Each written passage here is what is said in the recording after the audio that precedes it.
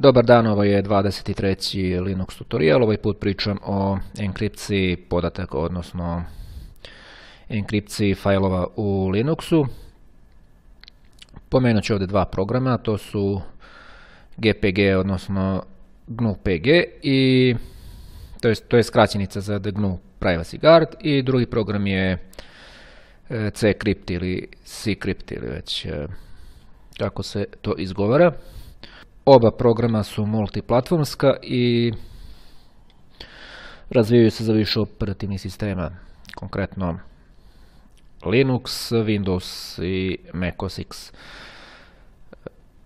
Evo, kliknut ću ovdje na download installing za C-Crypt i vidite ovdje što je sve podržano Linux 32-bitna verzija, Linux 64-bitna verzija, Windows, Solaris, Android i tako dalje, ima baš dosta toga. S tim što ako imate neko od podržanih Linux distribucija, možete crypt instalirati i prostim kucanjem komandi sudo apt install crypt.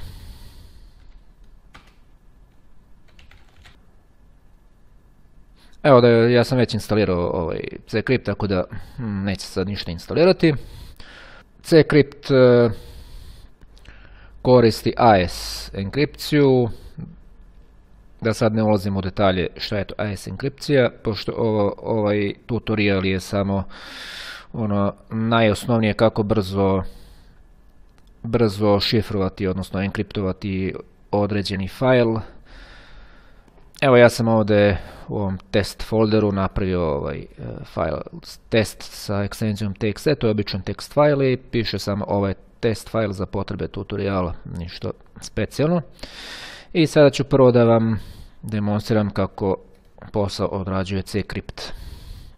Za potrebe ovog tutoriala neću mnogo da ulazim u o teorijama šta je to AES, DES, Blowfish i tako dalje te enkripcije. Samo ću vam reći da Crypt e, radi sa AES enkripcijom. Evo, detalje možete saznati na, na zvaničnom web sajtu. I kao što vidite, ovdje imate dosta detaljnih informacija. Evo ovdje imate i kako se koristi Crypt.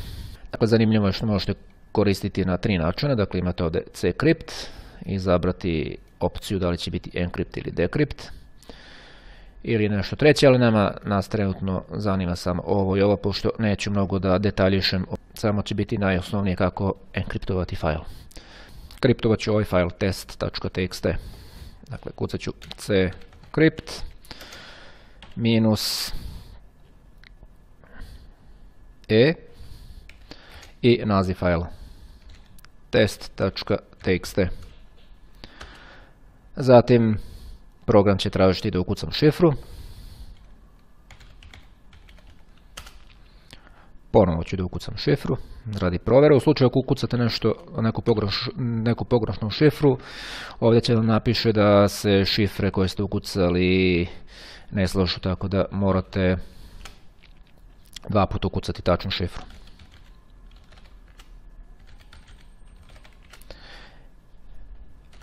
I evo, file je sada uh, kriptovan.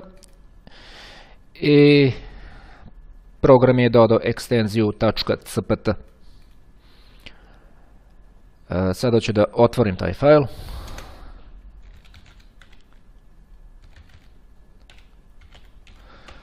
I kao što vidite, ovdje je gomila nekih karaktera koji koji nemaju veze sa onim tekstom koji sam vam pokazao na početku.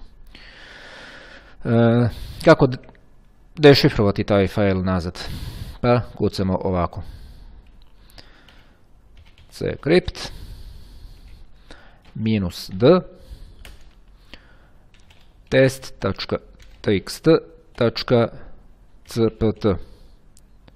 Zatim se od nas traži da ukucamo šifru, naravno ako ukucam pogrešnu šifru, Ovdje će da se prijavi greška da, da nije tačna šifra.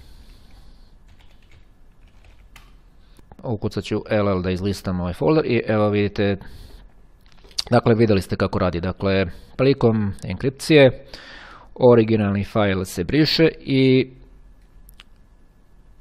napravi se e, novi fajl sa ekstenzijom cpt. Isto tako i, kada se dešifruje, odnosno dekriptuje taj fajl, napravi se fajl test.txt, dakle sa originalnom ekstenzijom, a ovaj fajl koji je bio šifran se izbriše. I sada ćemo da pogledamo sadržaj fajla test.txt. Evo vidite, ovo je test fajl za potrebe tutoriala. Dakle, vratili smo fajl u originalno stanje. Pomenuo sam dakle i još cc encrypt i cc decrypt, da će mi to pokazati. Dakle, cc encrypt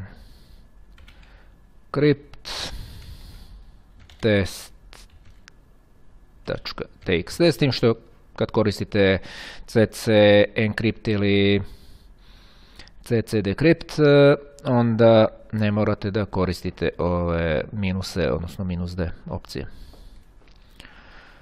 Pritisnut ću Enter, ukucat ću šifru.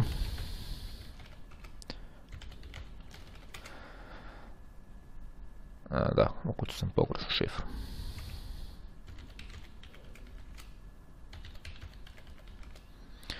I sada ćemo, dakle, opet isto uradi, izbriše originalni fajl i napravi novi fajl sa ekstenzijom cpt. Evo, to ćemo i da provjerimo.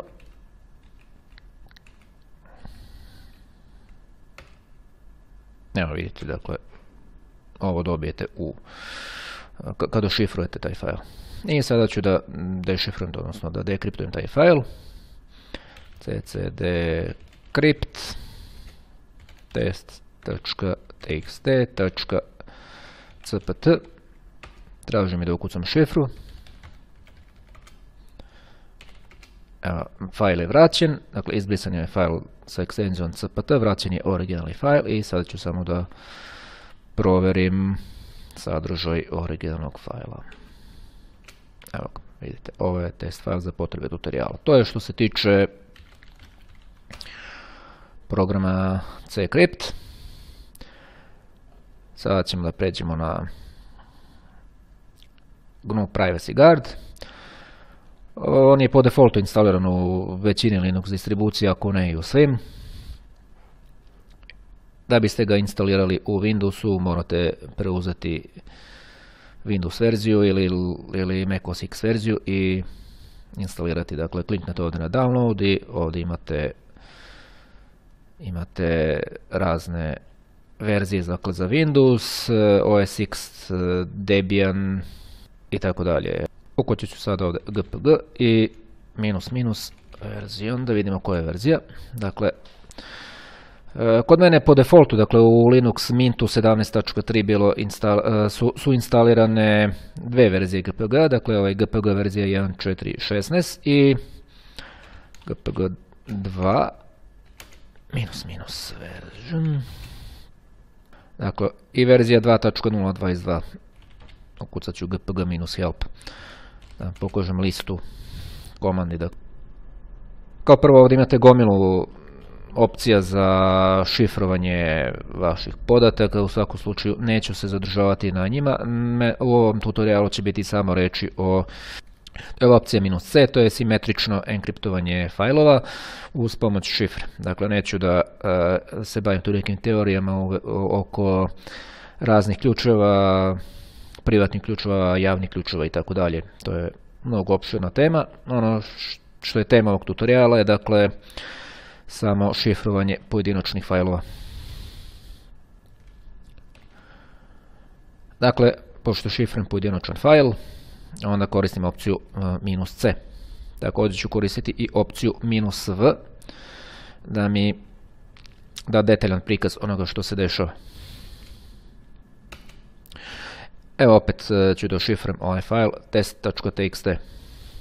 Prema što počnem priču o tome kako šifrovati, samo da vam napomenem da u slučaju da nemate instaliran e, GPG, instalirate ga komandom sudo apt install GNU GPG, odnosno GNU PG.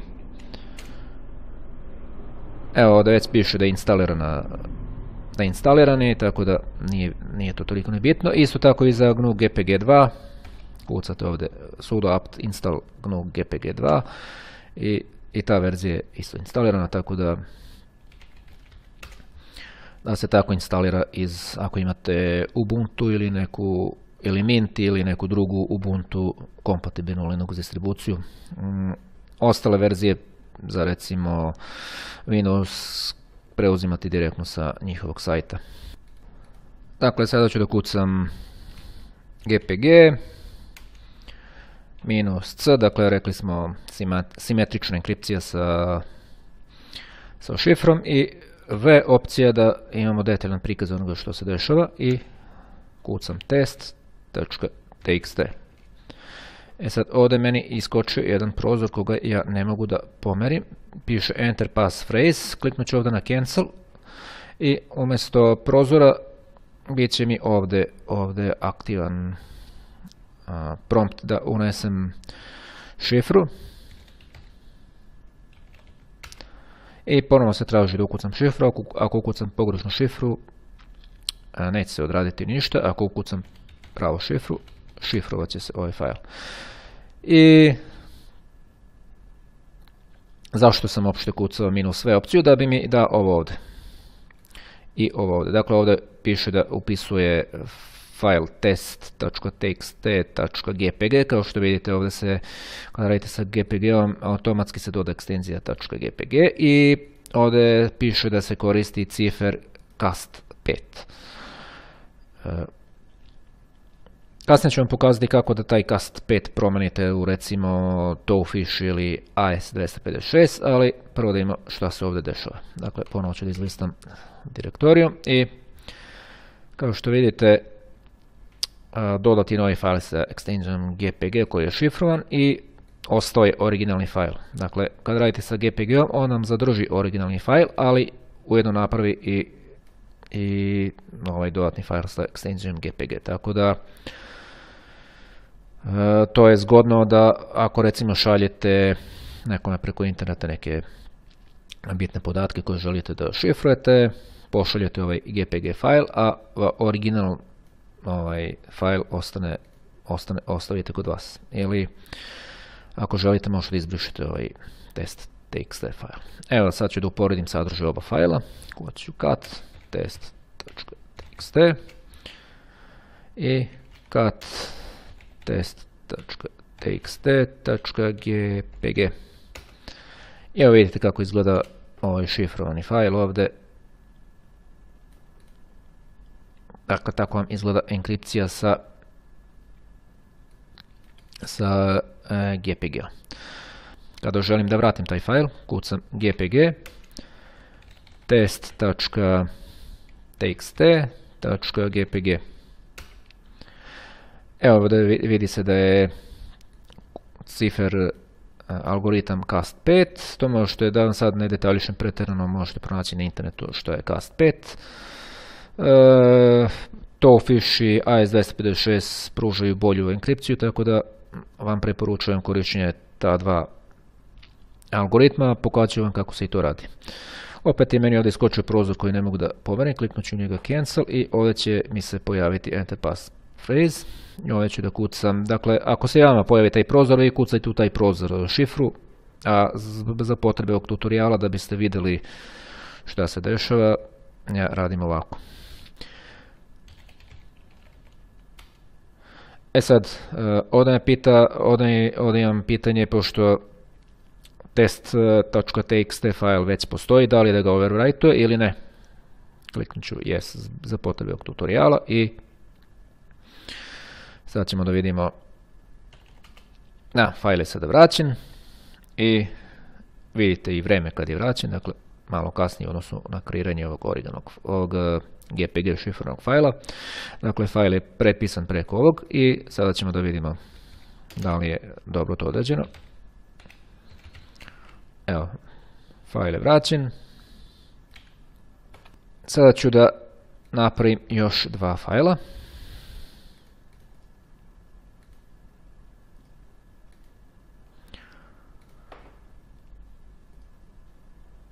Ovaj ću da rename file u test 2. A ovaj će biti test 3.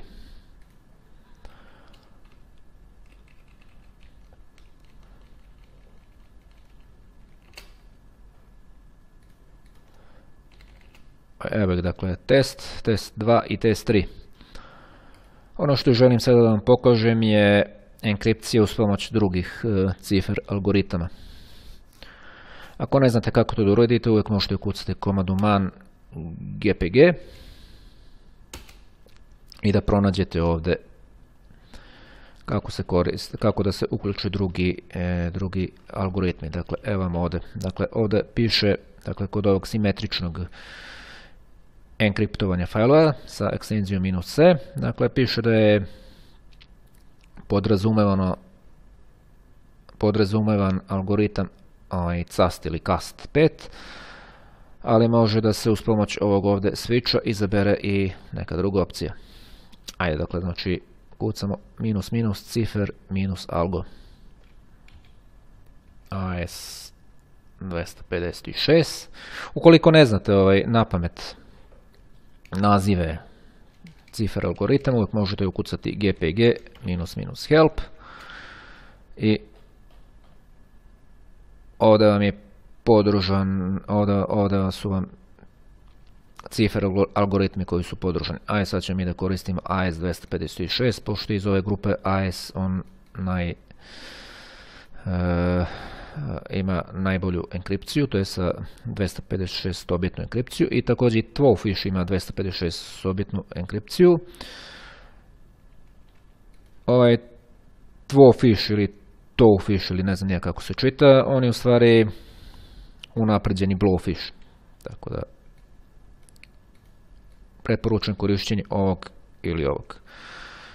Dakle, AS256, dakle kucamo ovdje GPG, minus minus cifer algo minus cv i test 2.txt.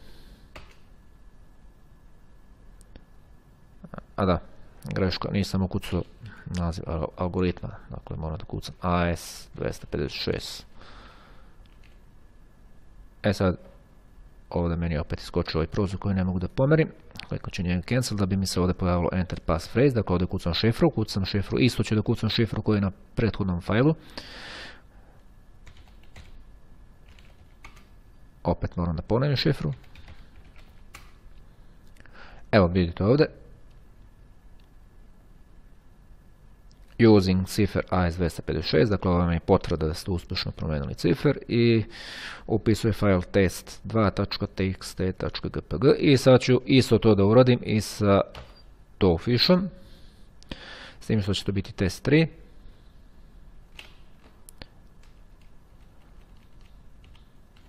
Tofish, nadam se, mislim da se ovako piše i prisnut ću enter.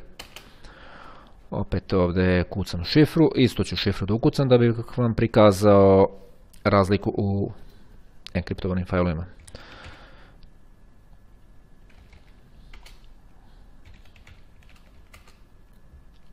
Evo ovdje piše korišćenjem cifera twofish i upisuje file test 3.txt. E sad ovdje imamo već lepu grupu failova. Sad ću prvo da prikažem sadržaj faila koji je kriptovan sa default uh, ciferom, onim cast 5 test.txt.gpg zatim kucam test 2 i zatim test 3 i evo vidite kako se razlikuju ovi fajlovi. Sada ću da izbrišem sve ove tekst fajlove.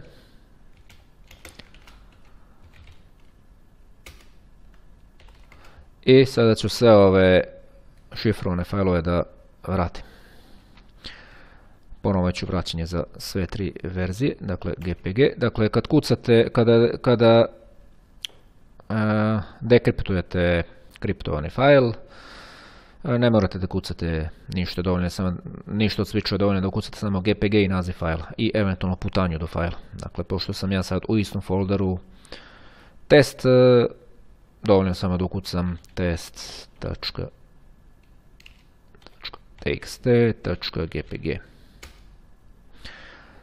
Sad mi traži da ukucam šifru. I evo ga. Vraćen je ovaj jedan fajl. Sada ću da to isto uradim za file test 2. Kao vidite, ovdje pišem da je ovdje cast 5 enkripcija, ovdje AS256.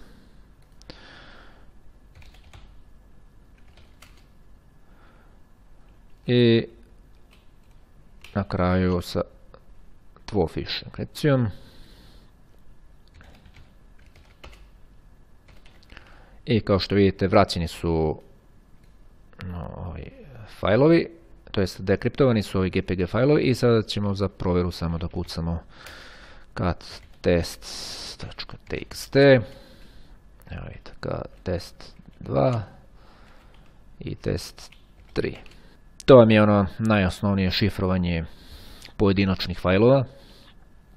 Također fajlove možete šifrovati i na drugi način, na primjer uz pomoć zip arhivera, 7zip arhivera ili šta god, evo sad ćemo to i to da obradimo. Kliknut ću desnim tasterom, kliknut ću na kompres i umjesto tar bz2 izabrat ću recimo 7z i ovdje ću otvoriti opciju, ukucat ću šifru, na primjer i create. Izbrisao sam onaj file originalni test.txt da mi ništa nije pitao. Evo me pita da li da ga overwrite ili ne. Evo samo ću da ga ovdje raspakujem. Ovdje mi sada traži šifru. Ako ukucam pogrešnu šifru, ništa se ne dešava. Piše password required. Jeste se ovdje pojavio file test.txt, međutim on je prazan. Nije se, nije se e, raspakovao. Sad kad ukucam pravu šifru, evo sad se file raspakovao, kliknut ću na close i evo vidite kad otvorim file, to je taj file. Također uz pomoć e,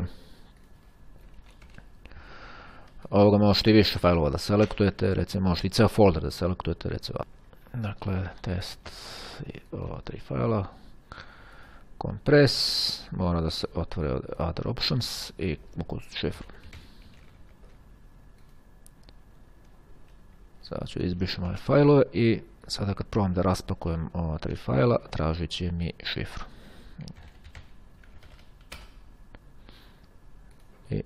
Evo, sva tri fajla su raspakovana, dakle, to su vam neki od načina kako da šifrujete e, vaše fajlove. Naravno, ovo što sam prikazao ovdje, to nisu jedini programi i načini za šifrovanje fajlova. Postoje još i drugi programi za šifrovanje. Naravno, nisu ovo najbolji načini, sigurno postoji neki bolji način, ali ovo vam je sasvim dovoljno da, da zaštitite vaše podatke. Ako su bitni, naravno. Eto, to je bilo sve za ovaj put. Hvala na pažnji i doviđenja.